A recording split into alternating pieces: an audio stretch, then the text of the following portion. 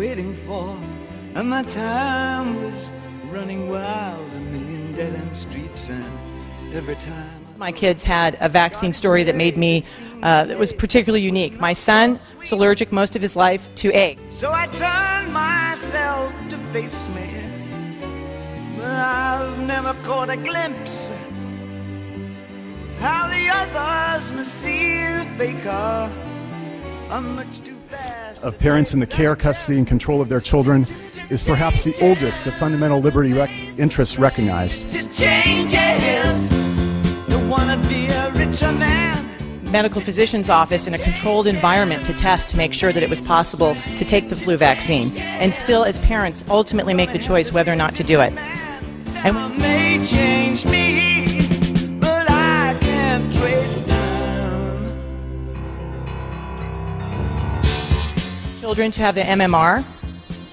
My daughter did have a reaction, and this is after I had visited with other parents uh, about what they were doing and heard from well educated parents. Change the size, but never leave the stream. Medical necessity reasonably ends to justify a law, then I will vote for this bill.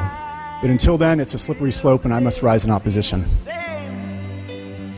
And these children that you It cannot be doubted that the Due Process Clause of the 14th Amendment protects the fundamental right of parents to make decisions concerning the care, custody, and control of their children.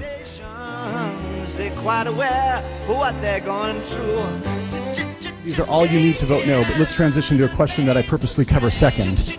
And that is whether science today can be sure that science tomorrow will not wonder why it was so unenlightened. The doctor and the doctor had to bring in a more senior doctor who had seen measles in his lifetime to say, yes, this is a reaction you can have to vaccines.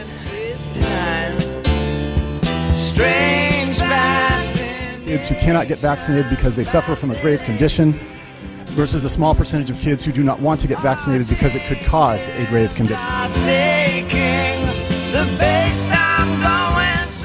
And think a little deeper and a little more critically for a moment. Here are those same unvaccinated kids who'd be forced to homeschool. They're still free to play football with other kids, to, to mingle with them at church.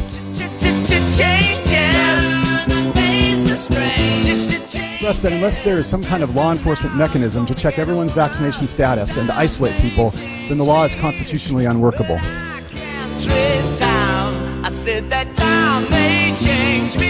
fact, in circumstances like this, when considering unpopular opinions, we are, we are on the hook for more vigilance.